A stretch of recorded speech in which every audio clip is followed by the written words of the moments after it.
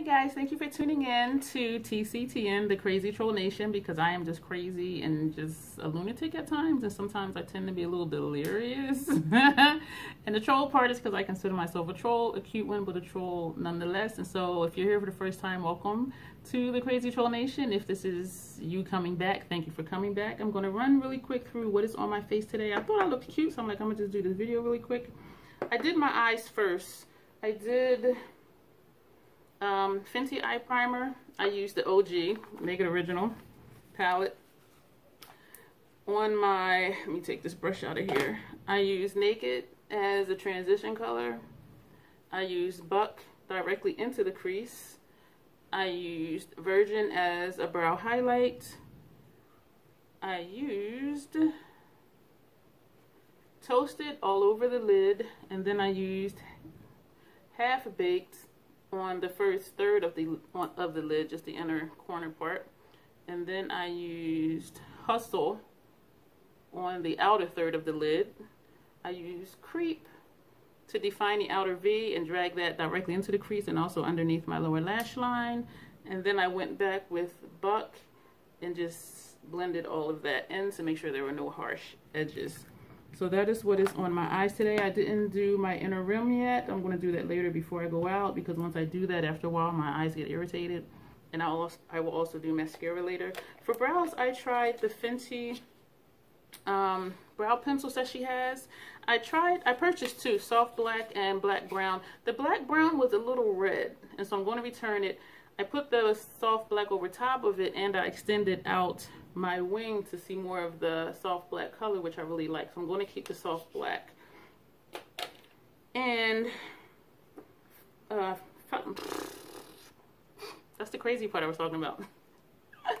During the 20% off Sephora sale, I purchased the Milk Hydro, Hydro Primer, even though I'm still working off of a sample that I had from a while ago. Like, you only need a tiny bit of this stuff. But since it was a 20% off, and I really love it, every time I use foundation, I use this, this primer. So I said I'm to go ahead and purchase it. I used the Cover FX Foundation G60.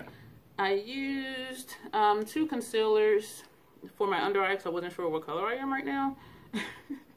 11.5, which is butterscotch, and number 13, which is cream caramel. And these are the Sephora, what exactly is it called? I will list it below. I don't have my reading glasses on, but I think, oh, here it is. Bright Future Gel Serum Concealer.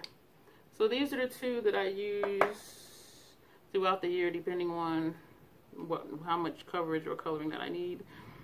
For setting powder, I use the Lancome Long Time No Shine Loose Setting Mattifying Translucent Powder. This is not the container. This is a Pretty Vulgar container. I emptied out that powder, put the Lancome in because I love the Lancome powder. I use this to set all over my face. I use the Fenty Setting Powder in Cashew for the perimeter of my face and I use the Makeup Geek Bronze Baroness Face Palette.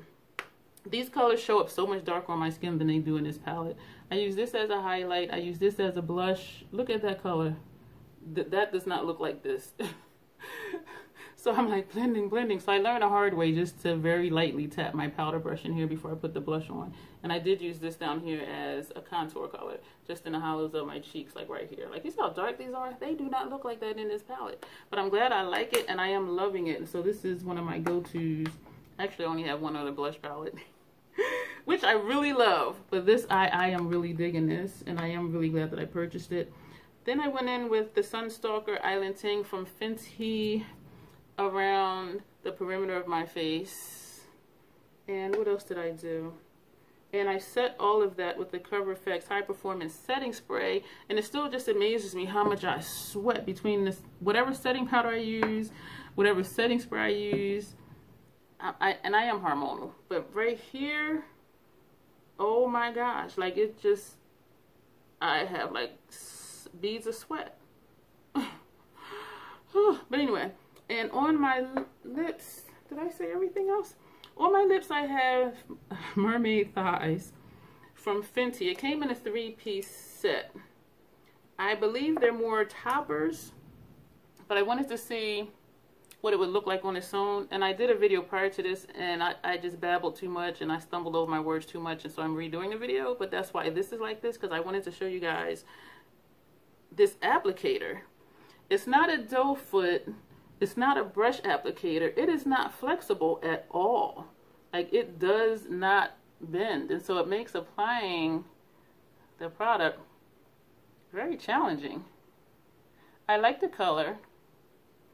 I will continue to use it depending on how I feel that day as a gloss, but I definitely will also try the three the, the three of these as toppers because as a gloss, it has a nice sheen. It's kind of like a holographic or iridescent, whatever the, the proper word is. And so I am liking what it's doing. So this is everything on my face. Thank you for watching. I don't know what the next video is going to be. I do have some polyamory terms that I want to talk about. Things that I learned that I didn't even know that there were words for. Very interesting stuff. And so I will talk about that. And also I did an article on my website, a blog article on BDSM lifestyle type stuff. So that I will turn that into a video as well. I will label my videos appropriately. So if you don't want to hear about polyamory or if you don't want to hear about BDSM lifestyle, just don't watch those videos. Or if you do, watch them. If you don't want to see the makeup ones, you know, whatever you want to watch. So I will label appropriately because I know everything is not for everybody. And you guys will see me in the next video. The last thing I will say is I purchased a tavern set table, which is where I'm sitting and a ring light is behind the table and I have a mirror down here that I can see myself in very clearly. I'm liking this setup and I'm hoping that it is adequate and sufficient for doing videos. So yeah, I do think I'm a little far, but there I, I'm not able to get closer unless I like lean over the table. So I don't know. So I'm still trying to figure things out, but I do think this is going to be my setup. And since I'm not doing tutorials, um, and eye looks on camera, I think this will be okay. And if you guys think it sucks, just tell me it sucks. I'm not easily offended. I'm a straightforward person. So, so let me know what you're thinking. Let me know how your day is going. Let me know if you are still rocking the OG Urban Decay Naked palette. And I am trying to get more use out of more colors in here. So I'm proud of myself for doing that. And everything else that I've used today, I am absolutely loving. This, I just hate the applicator, but I'm liking the color. First time using this, but I am loving it. Some people were saying, I know I was about to end the video and then I keep talking, right? Welcome to the crazy. Some people were saying they didn't like the brush on here because it is actually a brush and not a spoolie, but I like it because it's so much softer than a spoolie because it feels like I'm like raking through my brow hairs where this one actually is just like a brush. So it feels really good and it's about the same price as the Tarte one and the Anastasia one. And you get about the same amount of product. So it's more so your preference. Um yeah so I think it's safe to say all of these products I use today are my favorites right now and has been for quite a while. I'm really ending this video. Thank you guys for watching. See you in the next video. We'll see me. You'll see me in the next video. Thanks guys. Bye